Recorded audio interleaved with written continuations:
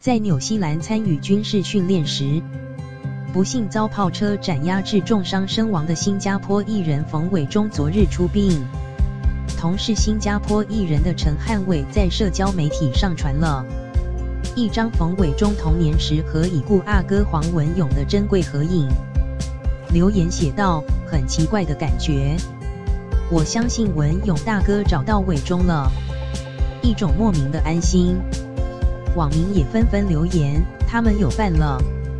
大家可以放心了，文勇大哥可以照顾伟忠的。也有人喊说，竟然给你找到这张照片。黄文勇是在二零一三年四月二十日，因末期淋巴癌病逝于中央医院，享年六十岁。六十岁正当壮年，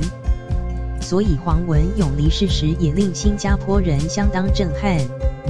出殡当天，千名公众、电视台同事、